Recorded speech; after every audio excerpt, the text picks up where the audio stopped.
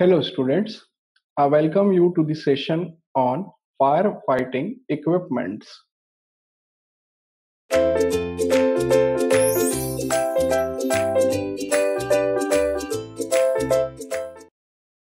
Till now we studied about what is fire, types of fire, how to react in fire, NBC consideration and the things allied to it. In this session we will learn about the firefighting equipments and they are the seven in types. We will be learning about seven types of firefighting equipments. The first is fire alarm system. The basic uh, working of this firefighting uh, system or fire alarm system is that the input devices gives the input signal to the control unit. These are the input things. And this control unit this is the control unit sends signals to the output units. So this is a heat detector. This is a heat detector and this is a your smoke detector. They will detect the fire the heat or the smoke into it and send signals to this control unit. And the control unit will send the signals to the this kind of devices. Either it may be a siren this siren or a horn or a light to display. And likewise the victim or the people in the building will be known to the fire. Let's see in detail the fire alarm system consists of initiating devices, the control device, and the notification appliance. Let's see. The initiating device. Initiating device states the change at its place either manually or automatically. So the manual call point is a wall mounted device that needs manual action to let know the control unit. The person and the building needs to push the button and so on and the control unit gets the information that there is a fire in that building and if there is an automatic initiating device like a smoke detector or heat detector what it will do it the smoke detector detects the smoke and sends the signal to the control unit. The types are addressable, conventional, and wireless. There are various variants available. In the heat detectors, it detects the change in the heat nearby it and sends the signal. The smoke detector detects the smoke, heat detector detects the heat. Both these detectors send the signals to the control unit and control unit will react likewise.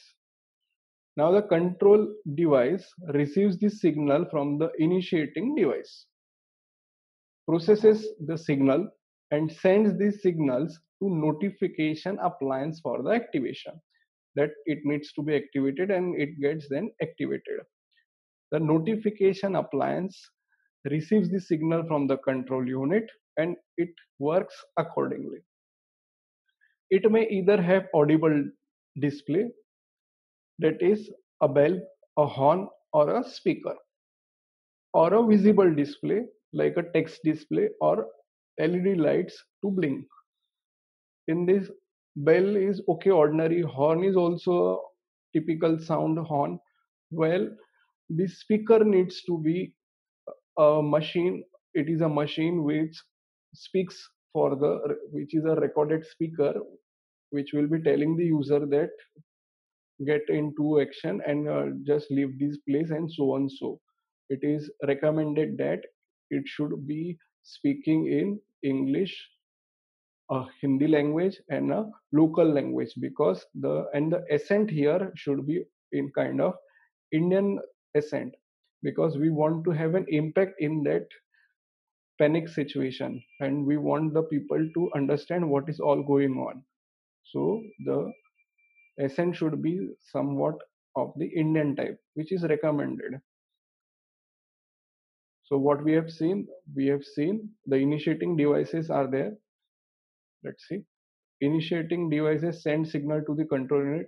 It, either it may be an heat detector or a smoke detector or a manual detector which needs to be pushed by or operated by the person or the user there then the control unit sends this signal to the notification appliances a horn a siren or a light. This is it is. The second is your heat and smoke detector.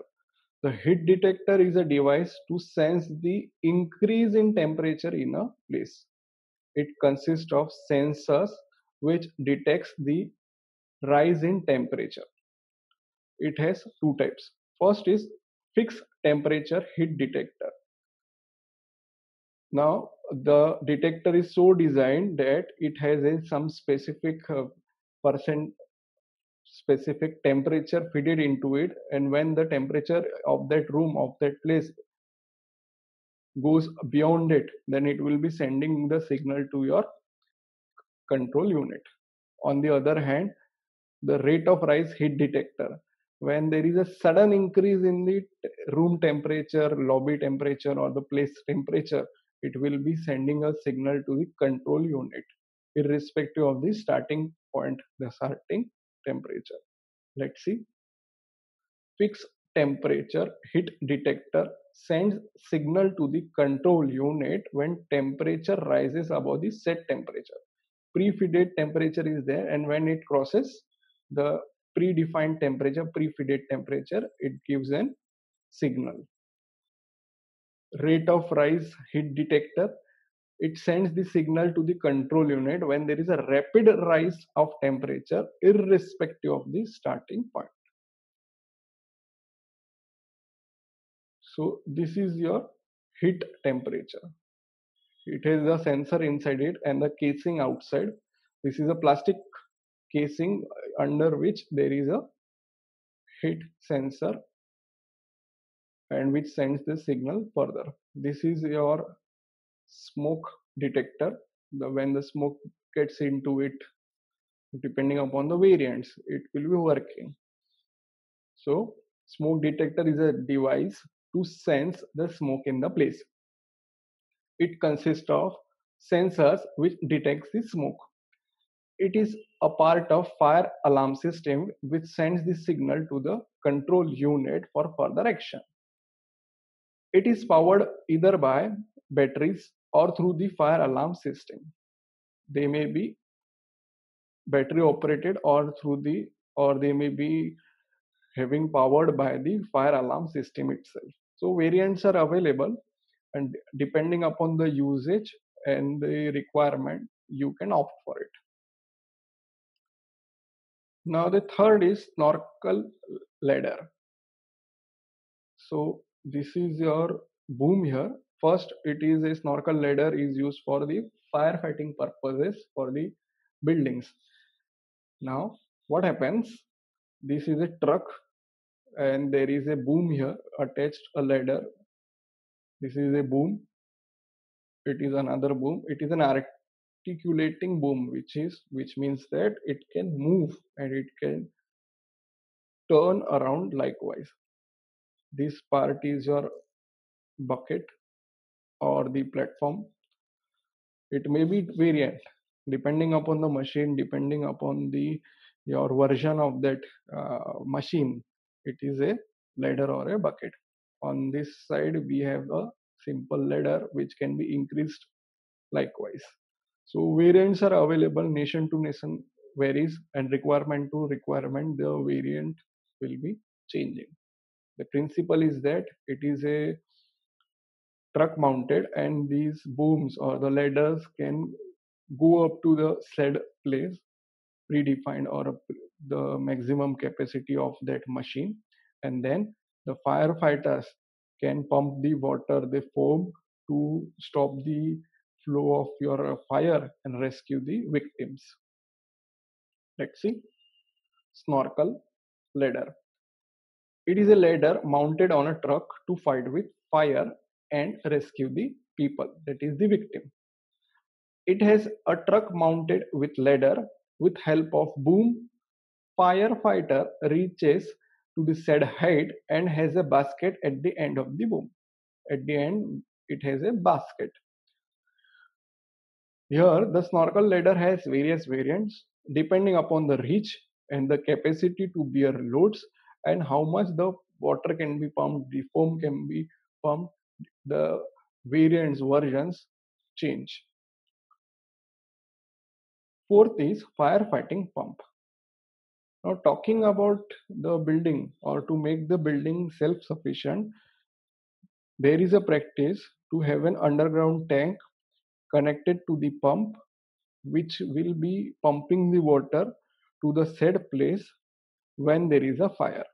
This is what a brief idea about the fire fighting pump. It has an under, underground tank to store water and a pump to pump the water at the said place. Let's see. Firefighting pump. They are used to pump the water from the firefighting tanks to the said place. These water tanks are underground and water required for multi-story building needed is large. Why we are constructing this water tank at the underground level and why not at the height? Because underground water tank is easy in operation a bit of easy and the dead load due to the construction of your tank and 24 7 water into it will surely need to be provided with a sound and heavy structural designing heavy steel thus increasing the dead load and every other aspects. So we provide generally provide an underground water tank and various other operational uh, efficiencies also these tanks should always be full this tank should not be used for ordinary water supply and other uses.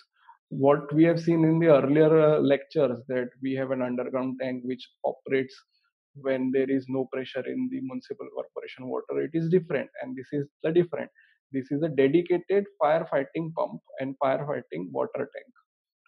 The capacity of tank depends upon the area it needs to cover and type of building. The type either it is a mercantile residential mixed use or commercial place educational place institutional place depending upon the place the mob is there depending upon the mob depending upon the floor the requirement will change and thus the water storage also changes water storing capacity needs to be designed and depending upon the height, the floor, the requirement, the pump needs to be installed. So it is an case centric. The capacity of pump depends upon the area it needs to cover, the level, the area till which the water needs to be pumped decides the pump variant. How the pipe system is deployed, type of building it has to serve, and number of sprinklers being used. Sprinklers we will see in the next slide. So upon the area the pipe system the type of building and the sprinklers used the pumping capacity of the pump is decided and then it has to be put into action so these are the standards like what is the pump size? 450 liters per minute need to be pumped or 900 liters per minute need to be pumped. Depending upon the pump size the location of pump installation is decided where it has to be there on the terrace on the downcomer with the downcomer system or in the pump house which is at underground level. Likewise. So depending upon the pump depending upon the water required your place location and system to be deployed is decided. While talking about only residential building with a height of 15 to 45 meters the underground water storage capacity required is this much and the terrace tank is this much. So depending upon your place depending upon the residential building these digits these stats can be known from the codes and from the standards and should be strictly followed. The fifth is dry and wet riser. Dry riser system is a series of pipes installed in the building which is later connected to fire extinguisher tank to pump the water. Let's see the slide, it will be easy. Now what it is? It is a dry riser system is a series of pipe. This is the pipe with walls here and what happens when there is no availability of the underground storage tank or where we can't provide the underground tank this dry riser as the name is dry riser it is 24 by 7 dry in case of emergency disconnected with such kind of your water tank. And the pump is there. The pump pumps the water to the said places and the fire is get into controlled. So otherwise in the case of only and only fire this what these walls these pipes will be getting the water. Else it is dry forever. So this is the dry riser system. And when these pipes these walls everything this system incorporated is connected to the water pump and uh, water tank. It will be a wet riser let's see.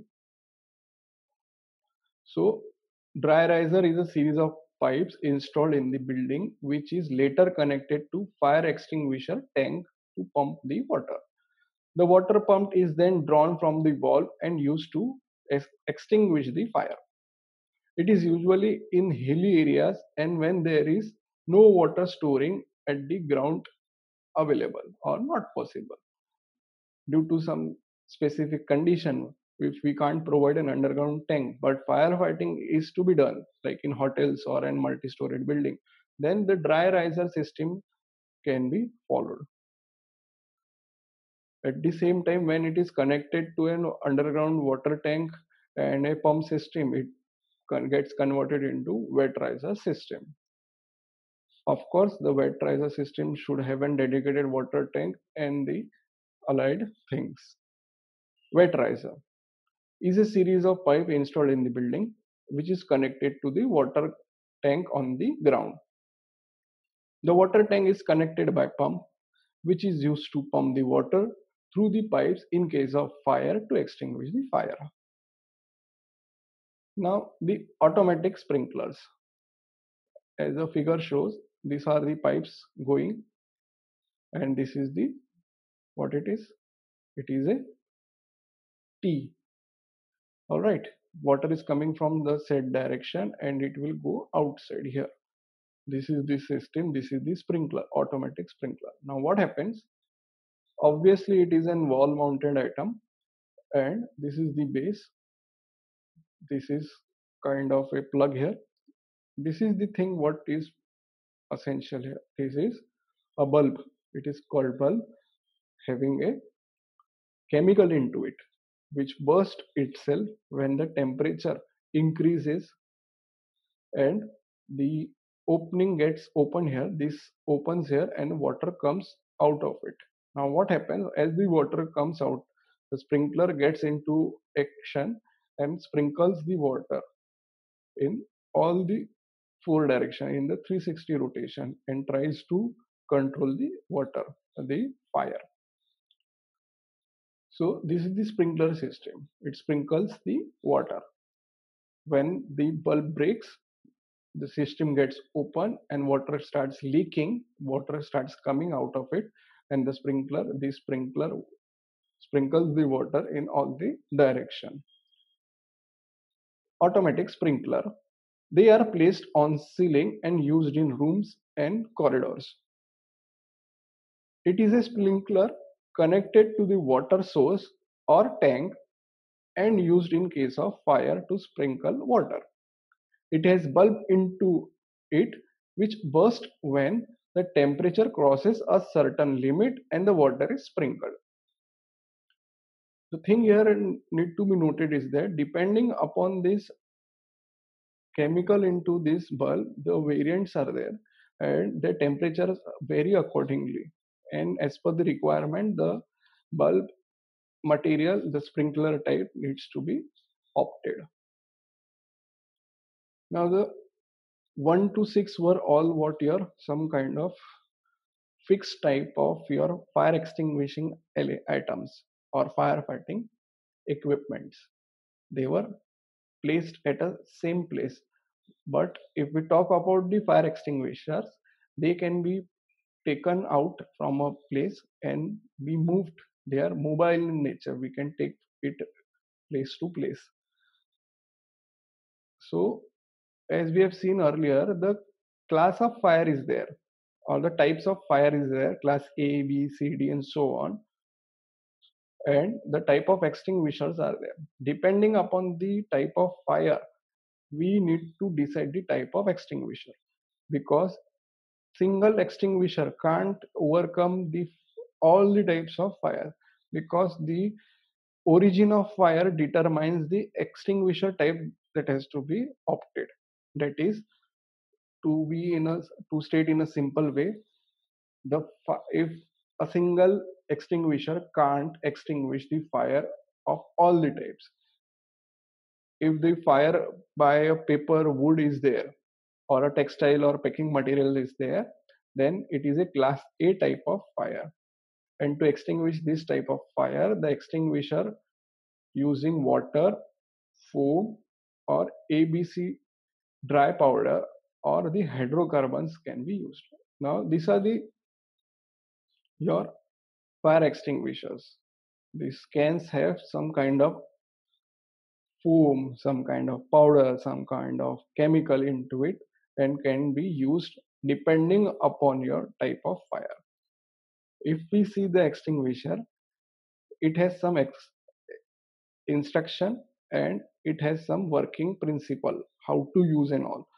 If we closely observe this, here we have A, B, C written over it. That is, type A fire, type B fire, and type C fire can be extinguished by this extinguisher.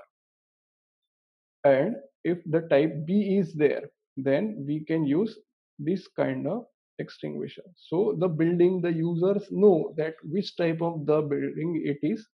The users know and the planners engineers and the authorities will decide will understand that what type of extinguisher we need.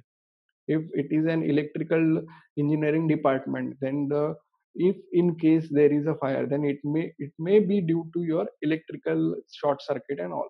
So we will not be using a water based extinguisher. We will be using a respective extinguisher. Likewise the placement of your extinguisher should also be decided if we closely observe this extinguisher these outlets are different for all these three types. The capacities are different these pressure places are knobs are different and the handles are also different.